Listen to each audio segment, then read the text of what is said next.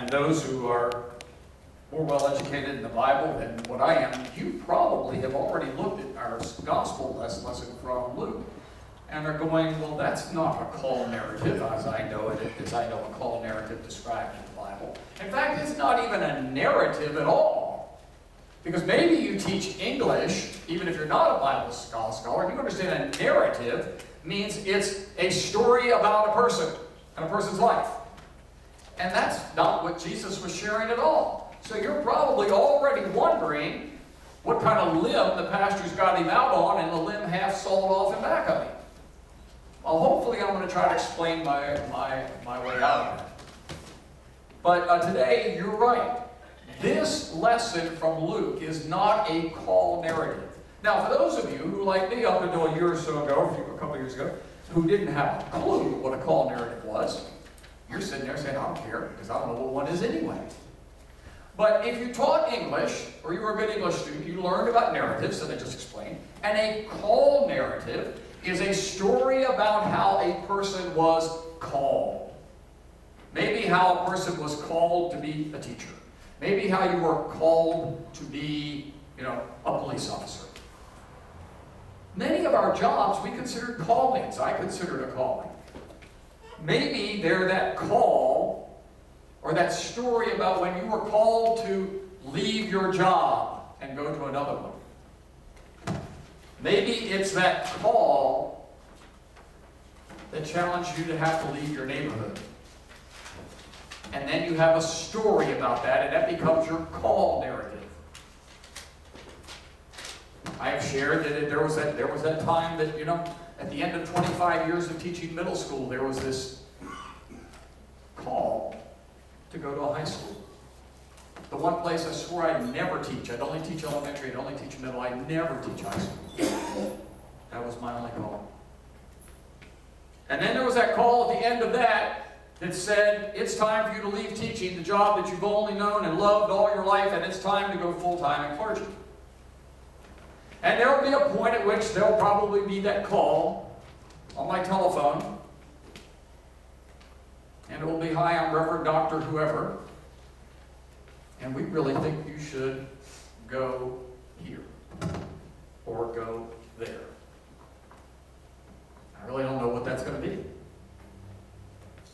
It'd be hard enough to leave any place that I was having a great experience.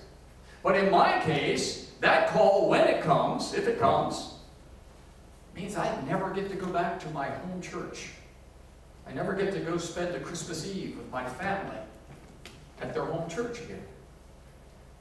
Sometimes the call of God is a challenge, and for some reason I just got thinking about that recently. But the idea was that we're going to look for the next four weeks, beginning today, and then the next three weeks, and after that, we're, we're, we're going to talk about Moses, Gideon, and Jeremiah. Now, Gideon is one of those folks that we don't often talk a lot, a lot about. You all know a lot about him because he gets around. He travels all around the world. He puts Bibles in hotel rooms. And, and, and, and, and that's probably the, the, the, the, closest that many of you have gotten to Gideon. And, and, and in case you haven't noticed, you've never seen him do it. He's almost like Santa Claus. He sneaks in, and he sneaks out. Well, the other is Gideon's been long dead, folks. It's an association. Gideon himself really doesn't do that. But there's a reason, reason, reason, reason for that. And Jeremiah. So we're looking at this whole idea of their call and then how it relates to our life. Because for seven weeks, we have been talking about who Jesus said he was. And you have no excuses now to not know who Jesus is. I told you at the end of it, it was your call on whether you accept it or not. But it is the call, the most important call you ever make in your life. But in my mind, when I got thinking, so what do we do with this? We now know who Jesus is. The question is, what do we do with it? And it's a call. It's a call. And Moses and Gideon and Jeremiah had a call. And for me, for some of the younger folks in the room, you, you don't remember that guy in the middle. I'm sure. But this is from a Verizon commercial. And he had a line in his commercials that became well known all over the place. And every time he popped up, he'd whip out his cell phone and he'd say, Can you hear me now? Obviously it worked, huh? We still remember that. And each and every time he would call and say, can you hear me now? Even to the point if he's on a bus, train, or whatever this is, and he'd lay the person, the person his head, head, head, head on there, and he can do that. This past week in my e-news, or my newsletter, let, let, let, let, I said, as I told you, for the kids, I told a story about a good eye and a bad eye. It's told to me by a man who lived to be 104 in the Wesley Church. And uh, sometimes we hear the call, but we don't listen. Sometimes we don't hear the call, so we're just not at fault.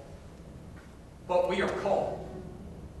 So I want to take a minute and look back at Luke again and see how this fits in because today we're going to hear about a man who invited people to a banquet. Now, Jesus was telling a parable, and he's telling a parable about, and, and I love the translation that Don read about, uh, about what it's going to be like to, to, to be in heaven.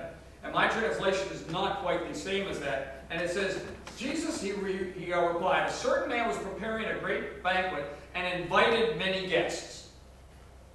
Verse 17, at the time of the banquet, he sent his servants to tell those, listen, to tell those who had been invited, come, for everything is now ready. Now, there's two points there. Invitations had been sent. Now, my guess is they weren't handwritten in the post office. I'm not sure how they sent invitations but they got out and they were there. But then there was the follow-up. Not only are we going to do that, but now everything is ready, and because everybody was from small town, we sent our servants out to go tell them that they're out there waiting to come into the party, or around that, hey, it's time. Come on, remember that. You had the invitation. So they had heard the call by the invitation, they had received it, and now they were being told to respond. Sort of reminds me, and I've shared the story before when my oldest was um, a major of honor to her closest friend who's a graduate of the Naval Academy.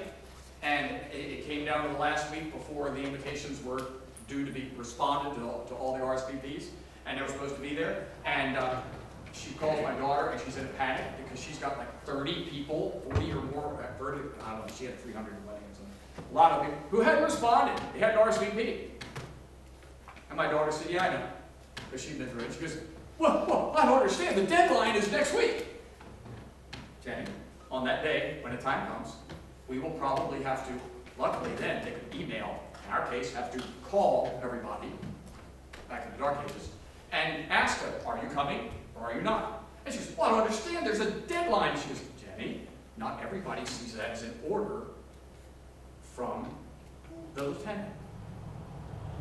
Well, but, but, heard the call, but we weren't answering the RSVP. In fact, this past week, I got a little, little email from the DS in a group that reminded all of us who hadn't responded to going to the bishop's event for tomorrow, for uh, yesterday, that there were only 10 pastors out of 71 who had RSVP and made a donation to his cause.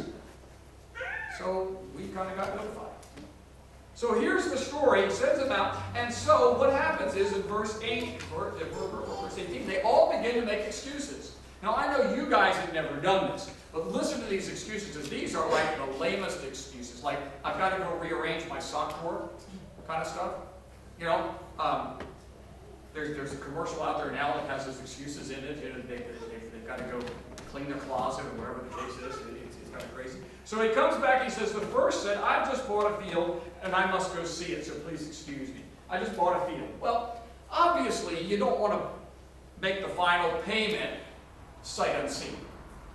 I mean, unless you have just tons of money and you're buying a very trusting person who's on the other end. But whether you see that field today or see that field tomorrow isn't going to change anything. So you go, well, yeah, he bought a field. He's got, he bought the field. He can go see it whenever he wants to make the final. If he's got cash in hand, the seller's waiting. Trust me. All right? Then another said, I just bought five oxen, five, five oxen, and I'm on my way to try them out. So please excuse me. He's already bought them. They're in the paddock, or in the, or in the corral, or in the field and, gra and grazing. They can be tried out today, or you can try them out tomorrow.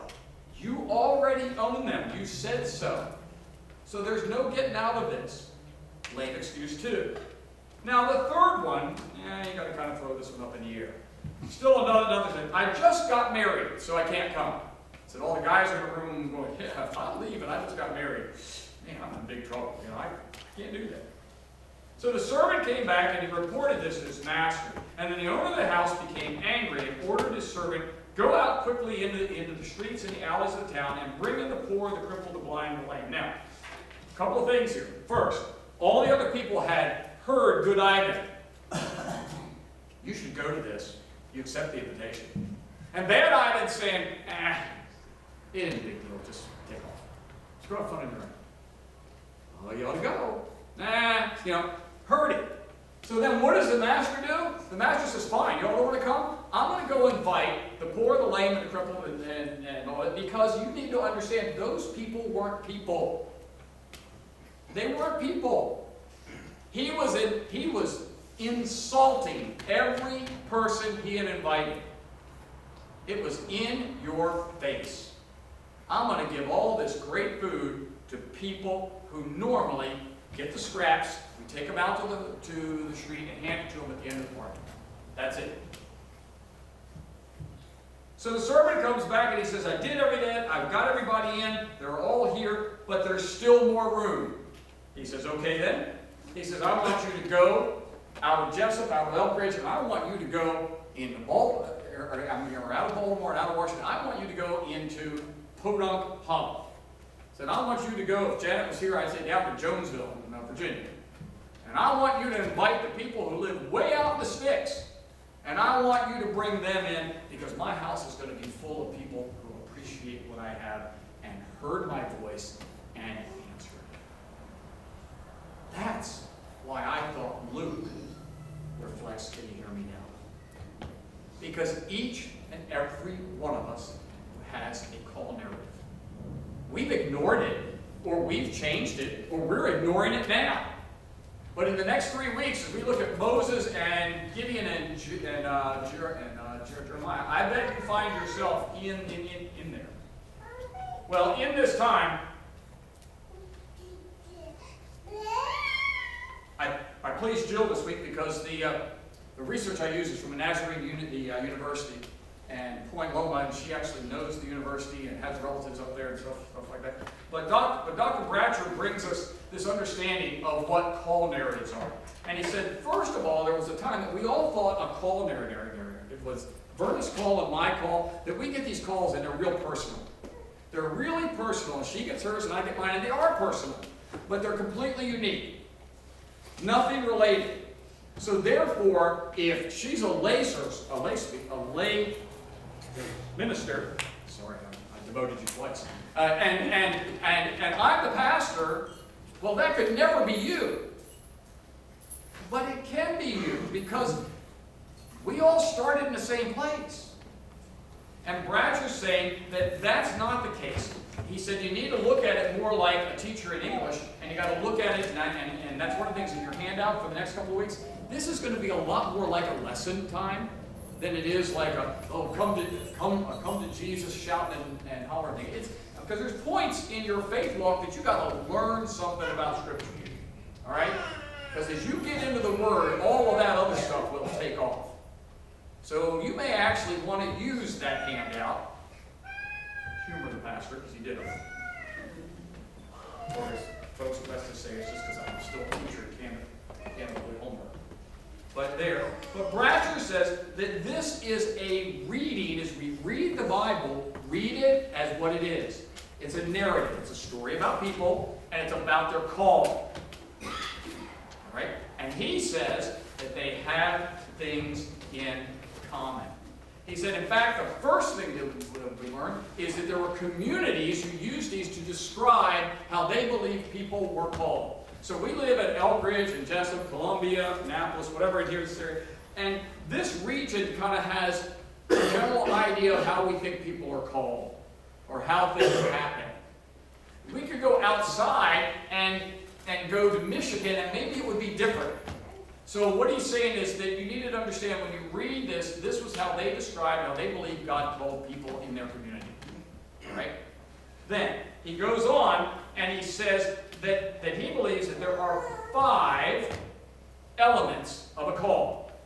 One, that God calls first. One, a situation of distress or crisis in which God confronts a person. I know that almost all of you, if not all, and I've been there, that in, this, in, in a situation of distress and crisis, on whether it be failing a class at school, or in trouble with a bully at school, or being a bully at school, or facing life decisions at 30, or facing life decisions at 80, God has called us in a distress, or has confronted us in a distress situation.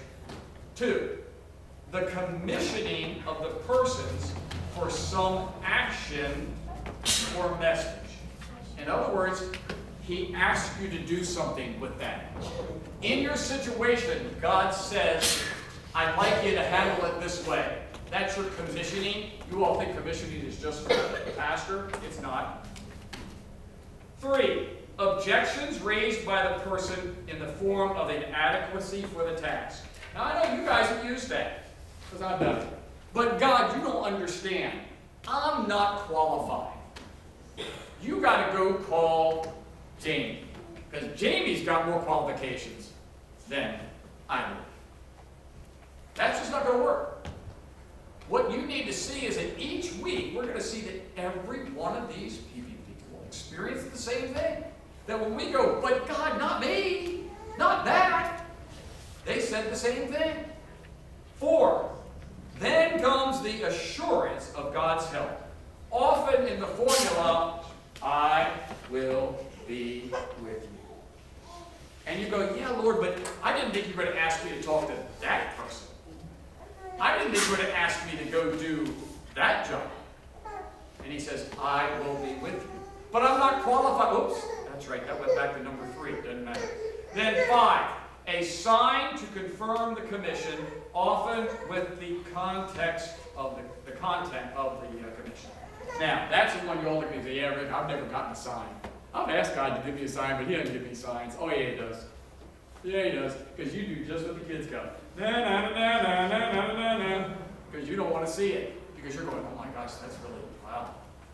You know, sort of, sort of like when I was going to leave middle school. I said no, I wasn't going to go.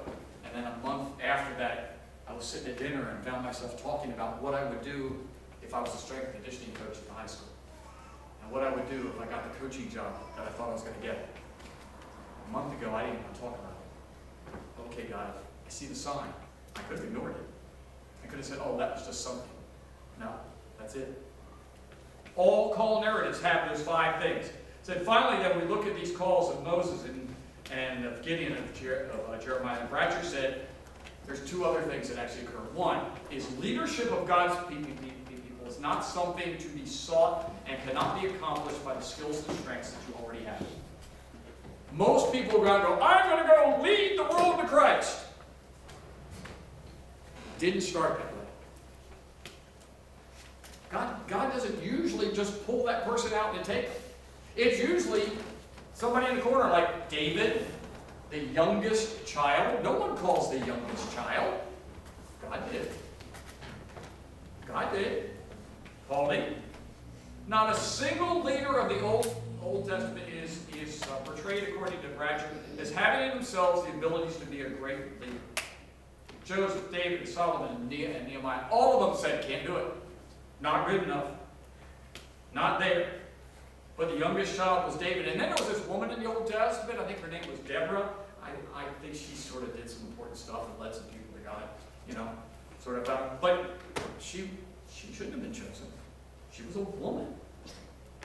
Oh yeah, and there was this wandering, this this this Aramaic guy.